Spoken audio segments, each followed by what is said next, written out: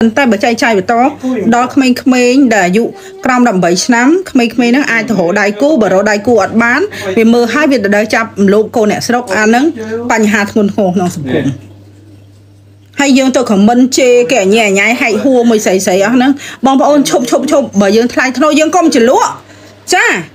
បើយើងគិតថាគេថោកហើយយើងទៅចលក់មួយអ្នកថោកអីទៀតបើយើងគិតថាការងារហ្នឹងវាមិនថ្លៃធ្នូយើងទៅចលក់អីទៀត អញ្ចឹងសួរចេះប៉ូលីសអាជ្ញាធរគេចេះចាត់ចែងហើយយើងគ្រាន់តែមើលទៅខ្ញុំឃើញដូចខ្លាញ់ហ្មងយូរយូរម្នាក់ម្នាក់គិតថាខ្លួនឯងនឹងថ្លៃធ្នូប៉ុន្តែដើរជេរព្រាតនៅក្នុងបណ្ដាញសង្គម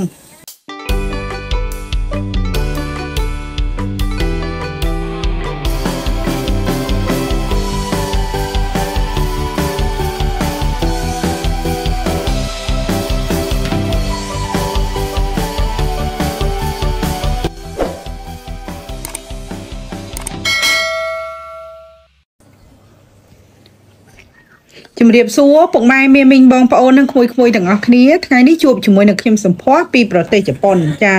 ថ្ងៃនេះខ្ញុំសូមនិយាយបន្តិចតាក់ទងនឹងប្រធានបទអឺការចែកចាយវីដេអូអាភាសនៅក្នុងបណ្ដាញសង្គមចាជាពិសេសតាម Telegram ទៅតាម Facebook Messenger ចាតាមបណ្ដាញសង្គមផ្សេងផ្សេងដោយសារតែ ព័ត៌មានល្បីចាចុងក្រោយនេះគឺ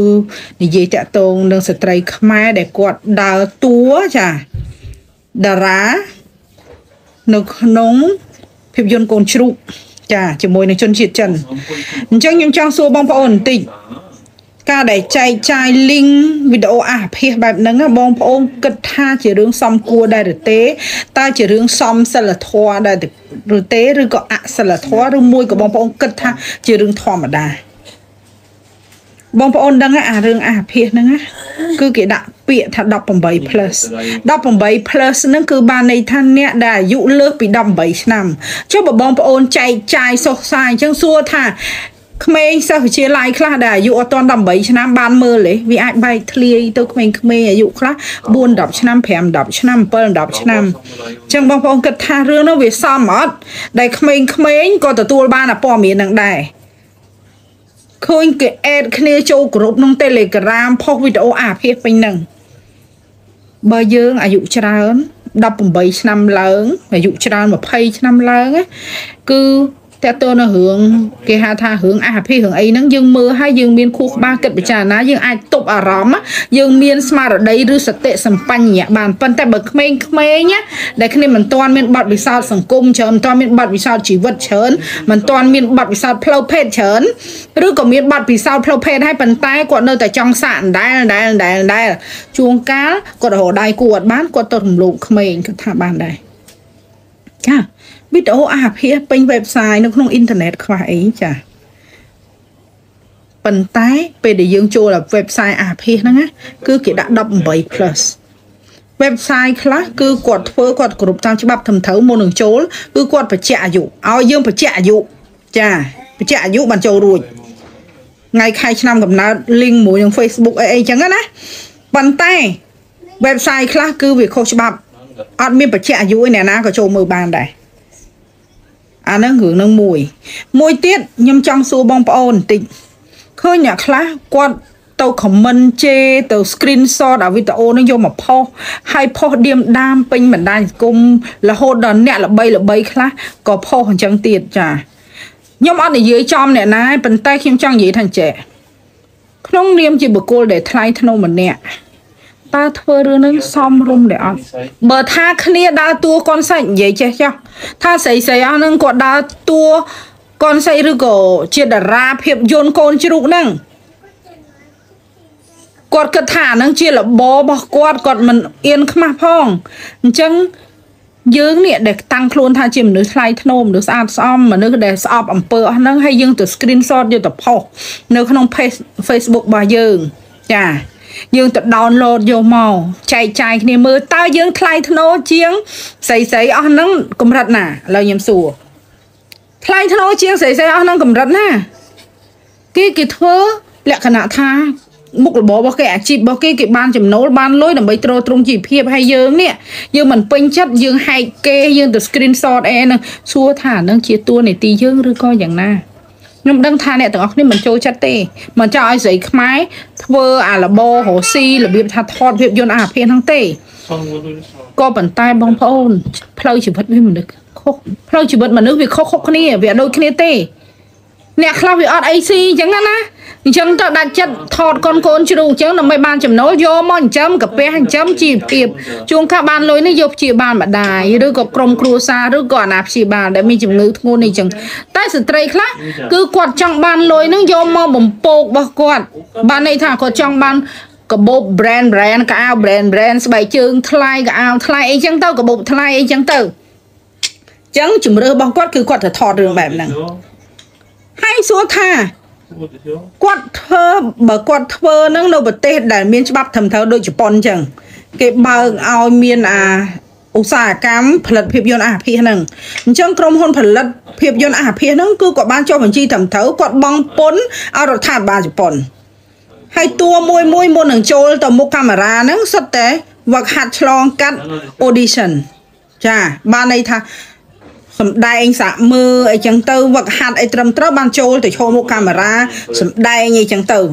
មានរហូតអ្នកអ្នកខ្លះក៏សួរខ្ញុំថាចេះឪពុកម្លោបកូនម៉ែយកកូនប្រុសអីចឹងនៅក្នុងរឿងជប៉ុនអីហ្នឹងសួរថាអាហ្នឹងរឿងប៉ិតអត់អាគេចាប់រំលោភអីនៅក្នុងដំណាឡៃឬក៏អីហ្នឹងប៉ិតអត់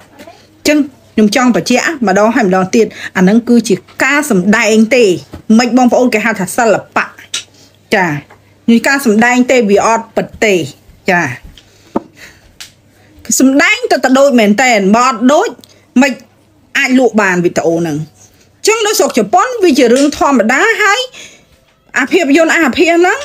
គឺគេដាក់ក្នុង website អាភិសទៅហើយណាចង់មើលក៏មើលទៅចាវីដេអូខ្លះ free វីដេអូខ្លះត្រូវចំណាយលុយទិញហើយចំណាយឲ្យយើងនេះយើងសួរខ្លួនឯងមើលថាតើប្រទេសខ្មែរយើងហ្នឹងបើកឲ្យមានអាគេហៅថាវិស័យភាពយន្តអាភិសនៅរដ្ឋាភិបាលទទួលស្គាល់នៅអត់ទេមែនទេអញ្ចឹង ក្រុមហ៊ុនចិនដែលគាត់មកថតភាពយន្តអាភិននៅស្រុកខ្មែរមួយស្រីខ្មែរអីហ្នឹងណាសុទ្ធតែខុសច្បាប់អត់ខុសច្បាប់ចុះតួហ្នឹងគាត់ធ្វើការងារហ្នឹងវាខុសច្បាប់អត់ខ្ញុំអត់ដឹងថាវាខុសច្បាប់ឬមិនខុសច្បាប់តើតែយកច្បាប់ហ្នឹងយកមកមើលចឹងធម្មតាអាជ្ញាធរគេបានចាប់ហើយទីតាំងហ្នឹងឲ្យគេចាប់ផលិតករចាប់តួអង្គតួអីហើយអស់ហើយប៉ុន្តែយើងនេះយើងហ្នឹងយើងជាអាជ្ញាធរអីយើងជាប៉ូលីសអីហេតុអីបានយើង ត្រូវទៅកាត់ក្តីបើយើងមើលក៏មើលទៅយើងចែករំលែកគ្នាវីដេអូអី private ក៏ឲ្យទៅប៉ុន្តែជៀសវាងកុំឲ្យវាវីដេអូហ្នឹង link ហ្នឹងវាធ្លាក់ទៅហើយក្មេងចាបងប្អូនយល់ទេ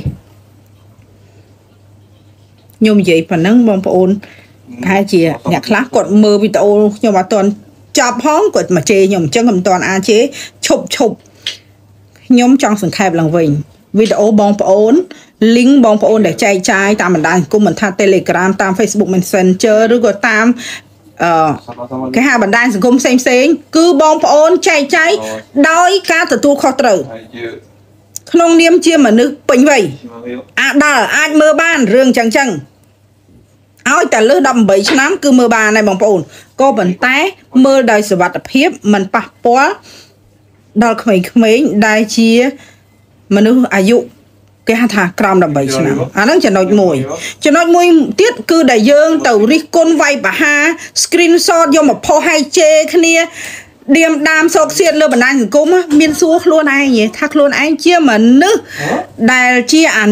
គេហៅថានីតិជនអត់ជាមនុស្សដែលចេះគោរពច្បាប់អត់រឿងគេចាប់ពួកផលិតករចាប់តួសម្ដែងអីហ្នឹងគឺជាតួនាទីរបស់អាជ្ញាធរមានសមត្ថកិច្ច ជាតួនាទីរបស់ប៉ូលីសចុះហេតុអីយើងនេះទៅ screenshot ផុសឲ្យទៅចូលទៅ comment វាយប្រហារឌៀមដាមដល់នាងដែលនាងនាងដែលជាតួអង្គចា After you, after that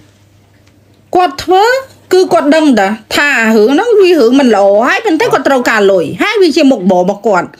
ហើយគាត់ខុសមិនខុស អាហ្នឹងអាញាធរគឺគេនៃចាត់ធានការហើយយើងទួនាទីអីនេះផុសគេជេរគេហែកហួរពេញបណ្ដាញសង្គមអាហ្នឹងវាស្មើនឹងបាត់បរហាគេខ្ញុំចង់ប្រាប់បងប្អូន Ja, ja, spytamy na បងប្អូនខ្លួនយើងបើខ្លួនយើងថ្លៃធ្នូកុំជ្រលក់អារឿងចឹងចឹងឃើញចង់មើលក៏មើលទៅមើលដោយសម្ងាត់ខ្ញុំអត់មានហាមឃាត់ទេឲ្យតែយើងជាមនុស្សពេញវ័យតែបើយើងគិតថាយើងជាមនុស្សដែលថ្លៃធ្នូ មិនគួរចែកចាយបន្តឲ្យបងប្អូន Non, បើចែកចាយបន្តដល់មនុស្សពេញវ័យលក្ខណៈ private អត់អីប៉ុន្តែបើចែកចាយបន្តដល់ក្មេងៗដែលអាយុក្រោម18ឆ្នាំក្មេងៗហ្នឹងអាចទៅរកដៃគូបើរកដៃគូអត់បានវាមើលឲ្យវាទៅដើរចាប់រំលោភកូនអ្នកស្រុកអាហ្នឹងបញ្ហាធ្ងន់ធ្ងរក្នុងសង្គមហើយយើងទៅខមមិនជេរគេអញ្ញាអញ្ញាយហែកហួរមួយស្រីស្រីអស់ហ្នឹងបងប្អូនឈប់ឈប់ឈប់បើយើងថ្លៃធ្នូយើងកុំចលក់ចា បើយើងគិតថាគេថោកហើយយើងទៅចលក់មួយអ្នកថោកអីទៀតបើយើងគិតថាការងារហ្នឹងវាមិនថ្លៃធ្នូយើងទៅចលក់អីទៀតអញ្ចឹងសួរចេះប៉ូលីសអាជ្ញាធរគេចេះចាត់ចែងហើយយើងគ្រាន់តែមើលទៅខ្ញុំឃើញដូចខ្នាញ់ហ្មងយូរយូរម្នាក់ម្នាក់គិតថាខ្លួនឯងនឹងថ្លៃធ្នូប៉ុន្តែដើរជេរព្រាតនៅក្នុងបណ្ដាញសង្គមបានហើយបងប្អូនបញ្ចប់ទៅចាបញ្ចប់ធ្វើខ្លួនឲ្យថ្លៃធ្នូចានៅឲ្យស្ងៀម អត់ផុសឌៀមដាមអត់ឆ្លោះគ្នាអត់ហែកហួរអត់តែជេរបចោអូខេមនុស្សធំដូចគ្នានិយាយគ្នាម្ដងស្ដាប់បានបើស្ដាប់អត់បានខ្ញុំឈប់និយាយ